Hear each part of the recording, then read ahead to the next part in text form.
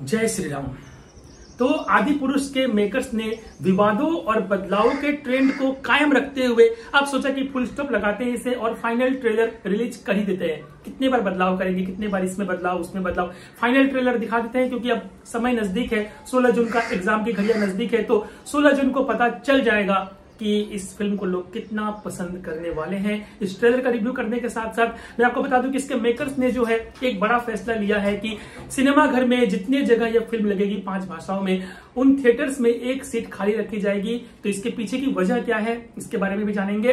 तो आइए रिव्यू शुरू करते हैं।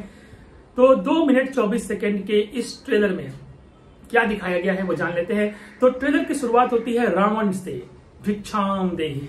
साधु के वेश में वो आते हैं, जानकी के पास। अनाज डालते वक्त इनका सैतानी जो दिमाग है काम करता है और ये अपने हाथ से कुछ ऐसा छोड़ते हैं जिससे सीता मैया जो है पूरी तरह जड़ जैसे बनते हैं ना, कुछ ऐसा जाल होता है, उसमें बंध जाती है और उन्हें वो इस तरह से उड़ाते हुए कष्टदायक तरीके से बाँध कर ले जा रहे हैं। This is very insulting way of kidnapping not like that कि जो रामायण था असली वाला, उसमें ऐसे अपहरण नहीं हुआ था, उसमें सीता मैया को इतना कष्ट नहीं दिया गया था। उन्हें विमान में हंस शेप वाले विमान में बिठाकर उनको वहाँ पे ले जाया गया था। लेकिन यहाँ पर जिस तरह से ले जाया जा रहा है, मूर्छित करके, उन्हें इस तरह से बाँध करके, ये कैसे कैसे इन्होंने शूट कर दिया? मतलब कुछ भी।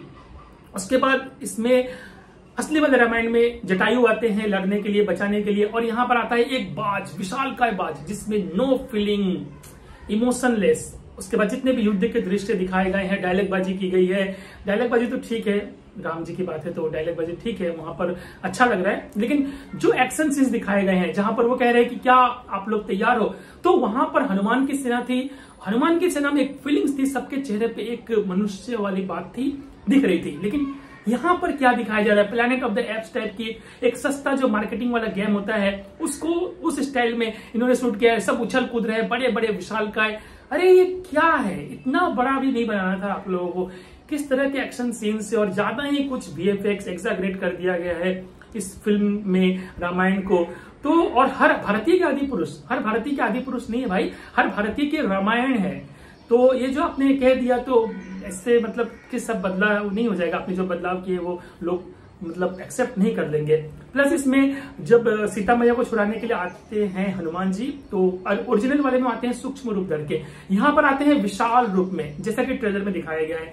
तो समझ में आ रहा है कि इन्होंने कितना ज़्यादा बदलाव कर दिया है, और यह बदलाव बिल्कुल भी अच्छा नहीं लग रहा है मुझे पर्सनली लेकिन अब लोगों की मान्यता, भावनाएँ जुड़ी हुई है तो इस फ़िल्म को लोग सिर्फ़ इसके कमेंट में मैंने देखा घुस bumps goose bumps goose bumps goose bumps लगता है घुस बम्स की दुकान खुली गई। सब लोग एक ही बात लिखते हैं घुस बम्स घुस bums goose bumps goose bumps I hate goose bumps well तो मैं ये कह रहा था कि अब इसके बाद जब ट्रेलर की बात हो गई तो दो मिनट चौबीस सेकंड के इस ट्रेलर में हम यही देखते हैं कि काफ़ी डार्कनेस है और काफ़ी अजीब तरह के मतलब कुछ ब्राइटनेस नहीं है इसमें। ब्राइट तो मुझे कुछ नज़र नहीं आया लगता है कुछ लो लाइट टाइप की शूट लगी। अब वो सिनेमा घर में कैसी लगेगी, वो तो वहाँ पर ही पता चलेगा। तो मैं कह रहा था इसके मेकर्स ने जो फैसला लिया है, वो ये लिया है कि हर सिनेमा घर में, हर थिएटर में जो है, एक सीट खाली रखी जाएगी। इसके पीछे एक धार्मिक भावना है, एक इमोशनल मार्केटिंग का सहारा है, एक स्ट्रेटेजी है, क्योंकि मेकर्स चाहते हैं, जानते हैं कि जहाँ पर भी राम कथा सुनाई जाती है, वहाँ पर एक सीट उनके परम भक्त हनुमान जी के लिए रखा जाता है। तो चूँकि आदि पुरुष में राम जी की कथा है तो वहाँ पर भी जब रामायण चलेगी, आदि पुरुष चलेगी तो वहाँ पर भी एक सीट खाली रखा जाएगा कि वहाँ पर उनको सम्मान किया जा रहा है, हनुमान को, कि वो आकर वहाँ पर बैठेंगे, देखेंगे। वैसे तो आएँगे नहीं, लेकिन ये आस्था है, मान्यता है। तो इसको उन्होंने एक स्टेप लिया है और उनके इस जो है कदम की तारीफ़ कर रहे हैं सोशल मीडिया पर लोग और जमकर उनकी तारीफ़ कर रहे हैं कि अच्छा स्टेप है, उन्होंने अच्छा काम किया है। तो अब उनके पास बचा क्या है धार्मिक मार्केटिंग के अलावा? क्योंकि अगर ऐसा नहीं करेंगे तो फिर लोग इसके बाद भी उंगली उठाएँगे कि ये भी नियम उन्होंने कायम नहीं किया तो उन्होंने अपने बच्चे, बचाव के लिए ये नियम कर दिया है। यह एक मार्केटिंग का तरीका है, बिल्कुल एक तरीका है। तो आई होप कि आप रिव्यू से समझ गए होंगे कि उस रामायण में और इस आदि पुरुष में ज़मीन आसमान का फ़र्क है। वो सिंपल एक साधारण तरीके से बताई गई विदाउट एनी बहुत ज़्यादा वीएफएक्स का सहारा लिए। वो एक सिंपल वे में बताई गई कहानी थी। और यहाँ पर सिर्फ़ वीएफएक्स और ग्रीन स्क्रीन का सहारा है। कुछ अलग ही है, एक्शन ज़्यादा है, लगता है यह एक्शन जो है हमारे इमोशन को टच करेंगे या नहीं, ये तो सोलह जून को पता चलेगा, उसका मैं रिव्यू लेकर आऊँगा आपके सामने। फ़िलहाल आपके पास वक्त है कि इस वीडियो को आप लाइक कर दीजिए, अगर अच्छी लगी है, शेयर कर दीजिए। और अगर चैनल पर पहली बार आए हैं तो चैनल को सब्सक्राइब करके बेल आइकन को प्रेस कर दीजिए। मैं यहाँ पर आपके लिए हमेशा लेकर आता हूँ बॉलीवुड के facts, news, reviews, updates, analysis.